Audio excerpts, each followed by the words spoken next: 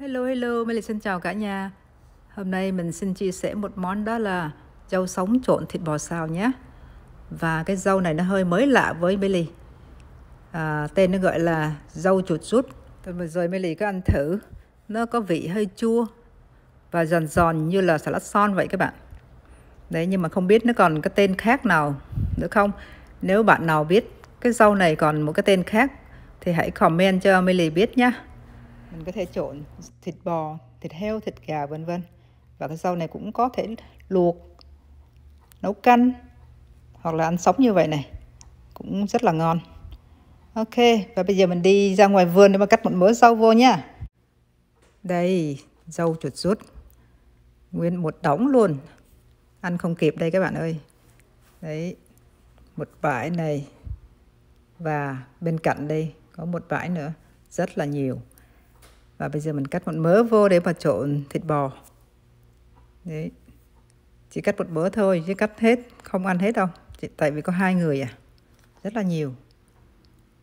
Để sau này mình có thể nấu canh hoặc là mình luộc vân vân. Đấy cái cây nó như vậy này. Mọc đầy khất luôn này. Đấy.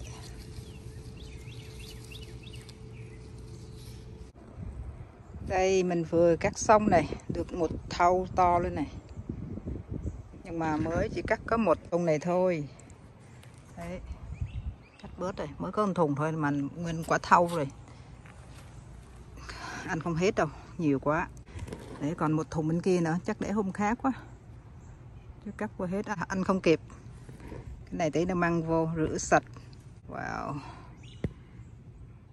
đây các bạn. Các bạn thấy cái nước đục đục đây là nước gạo. Nước mình vo gạo các bạn.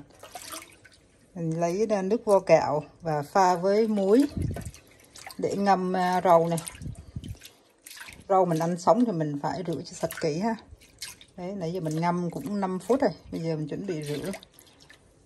Rửa sạch và xả lại nước sạch nhiều nhiều lần nhé. Tại vì rau mình ăn sống ấy mình nên rửa cho thật là kỹ luôn đây, sau khi mình rửa xong cái nước gạo rồi đấy, đấy mình xả thêm nước mình rửa rửa thật nhiều nước luôn các bạn nhé. Rau này rất là giòn luôn á cái lá này giống như là hình trái tim.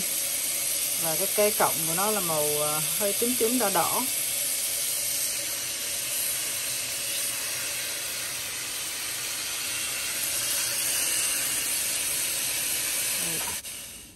Ok các bạn.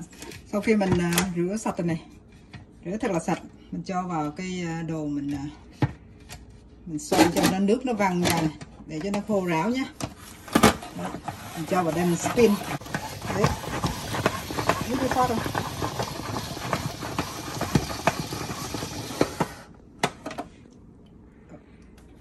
Đấy. mình quay cho nước nó văng ra này. Đấy các bạn thấy này. Nước ở trong này này đấy mình đổ bỏ đây mình lại quay tiếp nữa quay hai ba lần như vậy thì nó sẽ ráo nước mình không cần chờ lâu nhé mình cứ quay như vậy Baby go down, slow down, slow, slow up.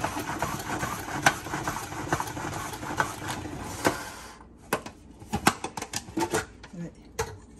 Đấy, nó gần ráo này các bạn. Thấy chưa? Đấy, cần mình quay như vậy thì nước này nước nó văng ra này. Đấy. cái spin như vậy nước nó văng ra. Chừng hai bên lần thì nó sẽ ráo thôi. Ok rồi sau đó mình à, xào thịt bò. Đổ vô mình trộn. Ăn rất là ngon. Đấy, cái độ spin này. Đây các bạn thịt bò mình đã sắc và ướp rồi này. Ướp một tí dầu hào.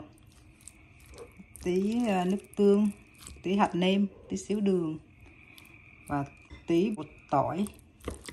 Đấy, bây giờ mình uh, chuẩn bị mình xào nhá chảo nóng rồi cho tỏi bột tao tỏi này thấy hết thơm là được rồi nhá đừng có để lâu quá.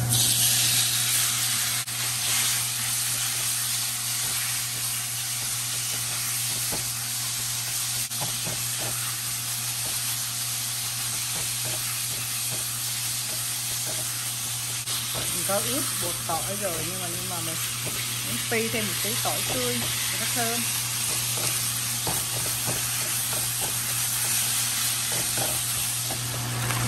Ok mình đã xào xong rồi nè. Đây, bên cạnh có sẵn một dĩa rau rồi đấy, đấy.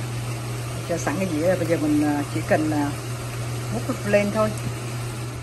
Đấy thế là xong rồi này. Đó còn nóng hổi bốc khói đây này. Đấy, các bạn thấy không? Thế là mình đã có một dĩa rau trộn thịt bò xào này này. Đấy, nhìn rất là hấp dẫn luôn rất là ngon. Ok thôi bây giờ mới lại đi thưởng thức nhá sẵn còn đang nóng này này. Rồi mới lên mời các bạn nha. Đây ok cho mình lại xin tạm dừng video ở đây nhé cảm ơn các bạn đã theo dõi video này. Nếu các bạn thích cái video xin nhấn cho mình một like nhé và bạn nào chưa đăng ký kênh xin nhấn subscribe đăng ký kênh để mà theo dõi video mới kế tiếp.